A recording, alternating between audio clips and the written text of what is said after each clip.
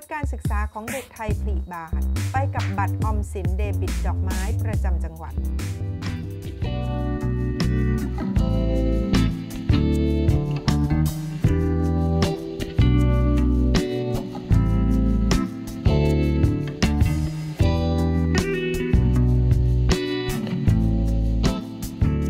ต้อนรับผู้ชมนะคะเข้าสู่ช่วงแขกรับเชิญเริดเวอร์ต้องบอกว่า เธอเป็นผู้หญิงสวยจริง ๆนะคะ สวยตั้งแต่ใบหน้ากิริยาท่าทาง ขอต้อนรับนะคะ ต้องบอกว่าเป็น MC Celebrity ของเราคุณลิซ่าอลิซาเบธแซดเลอร์ลีนานุชัยค่ะค่ะสวัสดีค่ะพี่ชินขอบคุณที่มาร่วมรายการกับเราอีกครั้งหนึ่งนะค่ะคะขอบคุณเหมืคอนกันรั้งนี้ต้องบอกว่ามาแบบปู่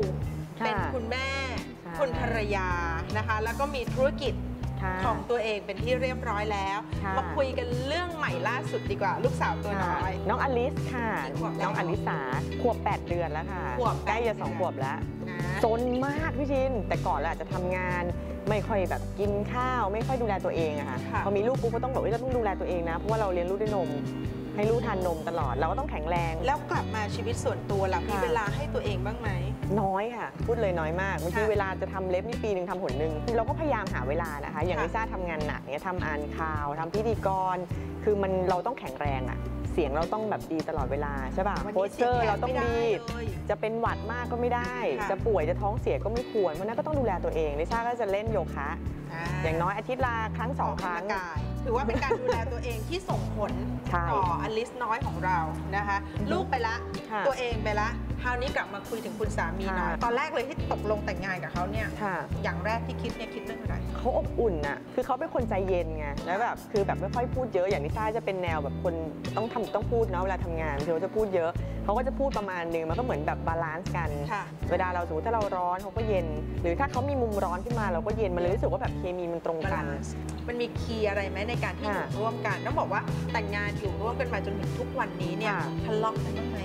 น้อยค่ะ น้อยอะน้อยน้อยมากคือแบบเราจะหาลิซ่าจะชอบกวนประสาทแบบคือ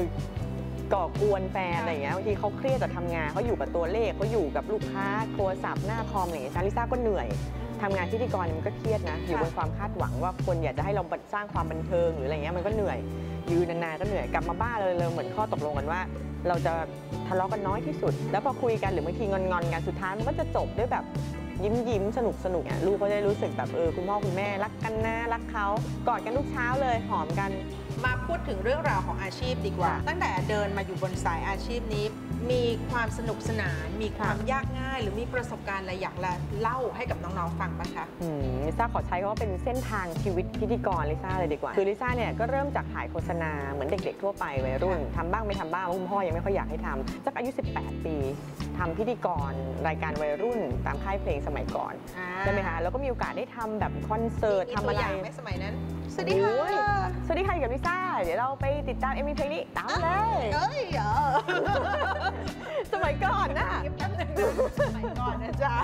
สมัยก่อน คือมันก็พัฒนาตามอายุอะค่ะพี่ชีค่ะจนกระทั่งโตมาเรื่อยๆทำรายการ ได้มีทำอีเวนท์ที่มันโตขึ้นค่ะลิซ่าก็เออแบบอยากมาทำข่าว แล้วก็จะพัฒนาจากพูดลักษณะสไตล์วัยรุ่น แต่ตอนนั้นลิซ่าก็พูดชัดนะ ก็ไม่ได้เน้นแบบให้แซงแบบเราไปดูแอมวีกันเถอะพวกเราอะไรอย่างเงี้ยไม่อะไม่ใช่ไม่รู้เหมือนคุณพ่อคุณแม่ปลูกฝังเลยทุกอย่างให้เราคือพูดชัด ไทยก็ต้องชัดค่ะอังกฤษก็ให้ชัด ครั้งแรกๆที่เราทำทุกอย่างครั้งแรกมันตื่นเต้นหมดแหละ แต่ลิซ่ามีคนเคยถามเหมือนกันว่า เคยรู้สึกแบบไม่มั่นใจหรือตื่นเต้นบ้างไหมแบบรุนแรงอะไรขนาดนั้น ก็จะมีเฉพาะงานที่เราไม่มีข้อมูลอะไรเลย คือรู้สึกว่าอ่างานนี้ก็จะชอบให้คนส่งสคริปต์มา เพื่อดูว่าเราจะต้องมีแปลอะไรให้เขาไหม ต้องมีอะไรถูกต้องไหมใช่มีภาษาอื่นหรือเปล่า เราก็อยากทำให้มันดีที่สุด เพราะว่าค่ะ organizer เนี่ยเขาไปพิชงานกว่าจะได้มา แล้วสุดท้ายเนี่ยมันอยู่ที่เราอะ ว่าจะทำมือให้กับงนไมค์เราเนี่ยออกมาดีหรือเปล่ราบรื่นดี อยากจะจ้างต่อหรือเจ๊งาอยู่ที่เรา เพราะฉะนั้นมันไม่เสียหายถ้าเราจะทำกันบ้านค่ะมันทำให้เรามั่นใจซะอีกว่าเอ้ยเราฉันรู้ และยิ่งถ้าเขาให้ไปก่อนเวลาก็ไปเถอะ เรารู้สึกว่าจริงๆโอกาสที่จะได้ทำมันน้อยด้วยซ้ำแต่ถ้าผู้ใหญ่เลือกเราอย่างเงี้ยเรารู้สึกดีใจค่ะแหมพูดคุยกันมาตั้งนานค่ะยังไม่ได้บอกคุณผู้ชมเลยนะคะว่าตอนนี้เราอยู่กันที่ L&E Lighting Solution Center อื้อหือราชพฤกษ์ค่ะ ดูบรรยากาศด้านหลังเราซะก่อนค่ะแผงข้างบนนี่พี่คิดว่าพี่อาหารกับลิซ่าคนละครึ่งโอ้ยเจ็ดหลักนะคะ เกือบแปดหลักอ่าค่ะนะคะ สุดยอดร้านนิดก็โอเคค่ะ อ่า เดี๋ยวโทรบอกสามีก็ได้เราบอกสามีนะห้องคะลูกดีไหมคะ ห้องลูกอะ ให้ฝึกพูดนับถึง ตัวเลขงานคริสตัลมีกี่เม็ดลูกดีพูแล้ดวถึงเรื่องลูกแล้วมาอยู่ในสถานที่แบบนี้แล้วค่ะ นี่เรา มีการตระเตรียมห้องนอนลูกอ๋อหรือว่าสถานที่ที่จะค่ะใช้ชีวิตร่วมกับลูกเราที่เข้ามาใหม่เป็นสมาชิกใหม่เลยยังไงบ้างค่ะคะ ก็จริงๆก็ตั้งใจทำห้องให้เขาอยู่นะ ตอนนี้ก็อยู่ระหว่างทำอยู่ เพราะนายเศร้าคงต้องแบบต้องแต่งให้เขาแบบใช้ได้ทั้งตอนนี้ แล้วก็พอโตขึ้นด้วยอะก็ยังใช้สอยได้อยู่ อะไหนๆมาถึงนี่ทั้งทีแล้วค่ะเราไปดูดีไหมว่าบรรยากาศของที่นี่มีเรื่องราวอะไรบ้างที่จะฝากไปหาอลิสดีค่ะ นะคะรวมไปถึงคุณแม่ด้วย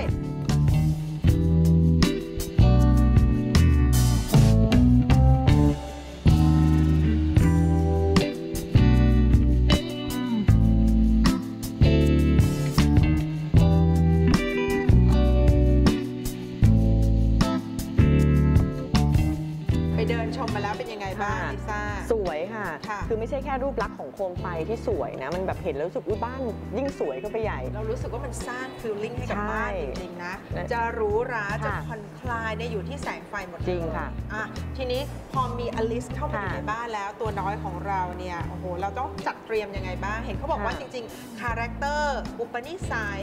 หรือว่ากิจกรรมต่างๆเนี่ยค่ะสามารถสร้างสรรค์ได้อืมอ่าเดี๋ยวเราลองมาดูที่น้องอลิสซิน้องอค่ะลิสเป็นเด็กยังไง โอ้โห เป็นเด็กซนแล้วก็ใฝ่รู้มากเขาชอบเรียนรู้ชอบอ่านหนังสือ แล้วตอนนี้เขาก็แบบอยากจะดูพวกวิดีโอบ้างอย่างเงี้ยค่ะแต่ซ่าจะเป็นห่วงเรื่องแสงจะไม่ค่อยแบบอยากให้ดู ถ้าดูก็คือเปิดเป็นจอให้ดูไกลอ่าๆวันนั้นก็ถ้ามีมีระยะใช่ถ้ามีไฟซ่าก็อยากจะได้ไฟที่แบบไม่ร้อนอะคือเพราะบางทีเด็กเขาชอบไปจับค่ะใช่ไหมคือถ้ามันไม่ร้อนแบบปลอดภัยกับเด็ก เรื่องแสง UV เดี๋ยวนี้เขามีเทคโนโลยีที่มันแบบ เป็นมิตรเขาเรียกอะไรอ่าอ่อนโยนต่อสายตา ตาของเรา ใช่ แล้วก็บรรยากาศอบอุ่นหน่อยจะได้หลับง่ายๆแสงอุ่นๆหน่อย เพราะว่าสดมาก ใช่เดี๋ยวนี้ไม่ค่อยนอนเลยกลางคืน ช่วยใช้เวลาเรียนรู้น้อยลงหน่อย ให้ลูกหลับง่ายๆขึ้นอีกนิดนึงใช่แต่ส ร้างบรรยากาศพวนี้จะมีได้ส่วนด้วย อย่างที่บอกว่าสนค่ะเนี่ยได้ยินมาตลอดเลยค่ะอีกหน่อยถ้าโตขึ้นอลิสมาฟังต้องคิดแน่เลยว่าหนูค่ะสนเลยขนาดนั้นเหรอคุณแมากค่ะสนแค่ไหน อุ้ยปีนขึ้นบันได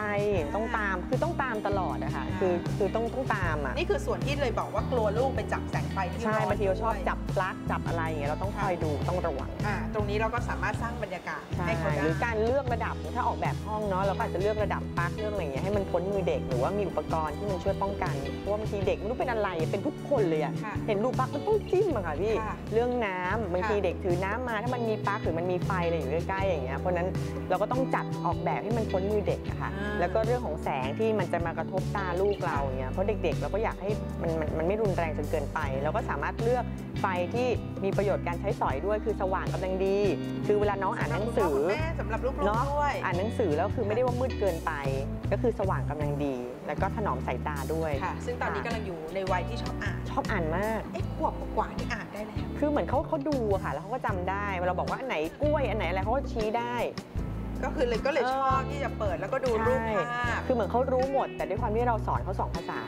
เราพูดไทยด้วยบางครั้งเราก็พูดอังกฤษบ้างด้วยใช่ไหมอยากให้เขาได้ภาษา ค่ะ ก็เลยอาจจะมีคนบอกว่าอาจจะช้ากว่าเด็กปกตินิดนึงค่ะเพราะเขายังประมวลไม่ได้ว่าเอ๊ะจะพูดเรียงคำยังไง ยังไง ก็ไม่เป็นไรแล้วอ่านไปก่อน แต่ตอนค่ะที่ได้สองภาษาแล้วเนี่ยจะซิ่งเร็วกว่าเด็กคนอื่นเยอะเลยนะคะหวังว่าอย่างนั้นค่ะอ่านะอ่าสุดยอดเลยจริงๆนะคะ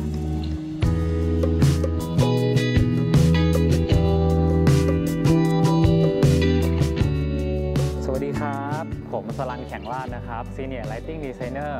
วันนี้พวกเราก็มาอยู่ที่ L&E Lighting Solution Center นะครับ ที่นี่เนี่ยเราก็จะมีบริการเรื่องของแสงสว่างครบวงจรนะครับ ไม่ว่าจะเป็นหลอดไฟ โคมไฟ หรือแม้กระทั่งอุปกรณ์เกี่ยวกับไฟฟ้าและแสงสว่างต่างๆนะครับ ทาง L&E เนี่ยก็มีทีม Lighting Designer นะครับ คอยที่จะให้คำแนะนำด้านแสงสว่าง และอุปกรณ์เกี่ยวกับไฟฟ้าต่างๆ อย่างวันนี้นะครับที่คุณลิซ่าเนี่ยมีความต้องการที่จะใช้แสงสว่างที่เหมาะสม และโคมไฟที่เหมาะสมในห้องของน้องอลสนะครับ เราไม่ควรที่จะใช้แสงที่มันแยงตานะครับ ก็คือ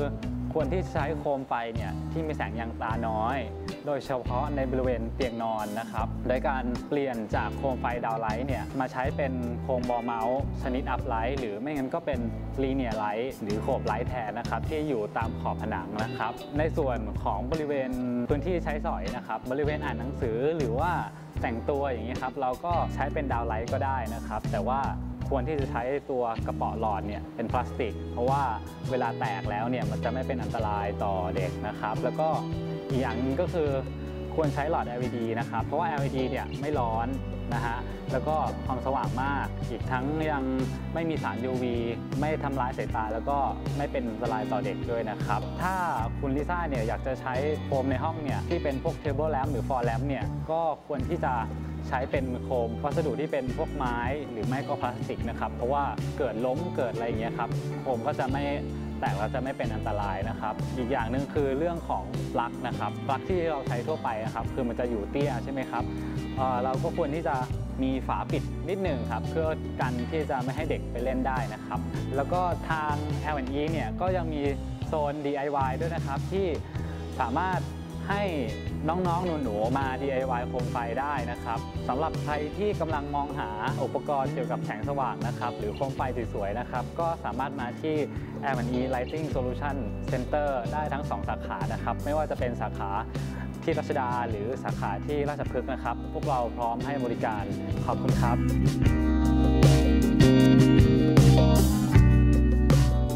การเลี้ยงดูลูกค่ะการใส่ใจลูกในแต่ละวันเนี่ยนะ สำหรับในแง่มุมของคุณแม่เองเนี่ยกลัวเรื่องอะไรมากที่สุดอืมเป็นกลัวห่วงเรื่องอะไรมากที่สุดอลิสนี่ก็ห่วงเขาล้มอะไรอย่างงี้มากกว่าเพราะเขาซนมากในวัยล่าสุดก็เพิ่งล้มไปอะไรอย่างเงี้ยบางทีค่ะเขาวิ่งวิ่งเพราะเขาอยากจะไปเห็นอันนั้นถึงนี้ แล้วก็กลัวเรื่องเด็กหายด้วยบางทีแบบไปเที่ยวตามห้างก็ต้องบอกคุณพ่อคุณแม่เลยว่าอย่าอย่าปล่อยให้เขาเดินแบบเราเห็นในข่าวเยอะค่ะบางทีก็เดินไปเราคิดว่าเราอุ้ยกดมือถือดูแป๊บเดียว ไปหน้าบันไดเลื่อนแล้วอย่างเงี้ยหลุดนอกนอกตกสายบันไดตาไปแล้วหรือว่าไปจับอะไรที่มันเป็นแก้วแตกค่ะอะไรอย่างเงี้ยค่ะมันอันตราย แหมต้องบอกว่าวันนี้ได้เรื่องราวอัปเดตชีวิต MC Celebrity ของเรานะคะ ทั้งเรื่องลูกเรื่องสามีเรื่องหน้าที่การงาน ค่ะ ในฐานะที่วันนี้คอนเทนต์ของเรานี่จริงๆเราอยากมาคุยเรื่องของ Celebrity MC คุณลิซ่าเนี่ยค่ะ ผลงานตั้งแต่เรียกว่าตั้งแต่เข้าสู่วงการนี้ค่ะ เลยดีกว่า ผลงานไหนที่ภาคภูมิใจที่สุดอืม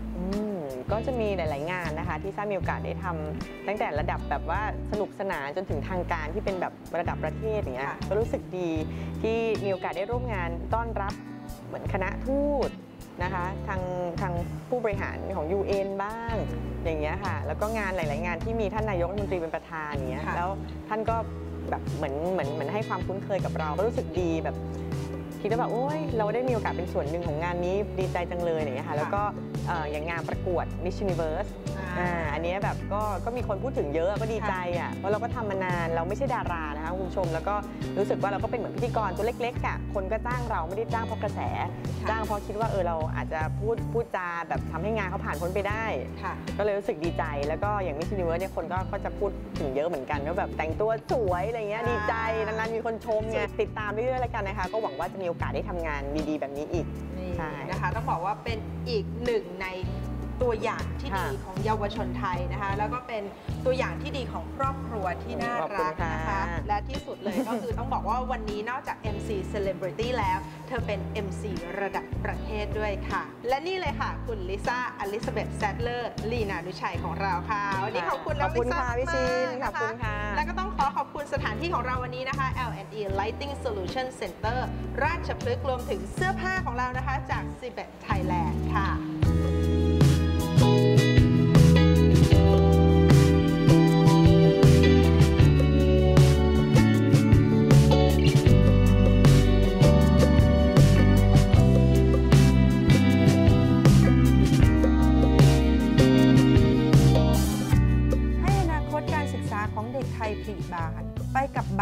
สินเดบิตดอกไม้ประจำจังหวัด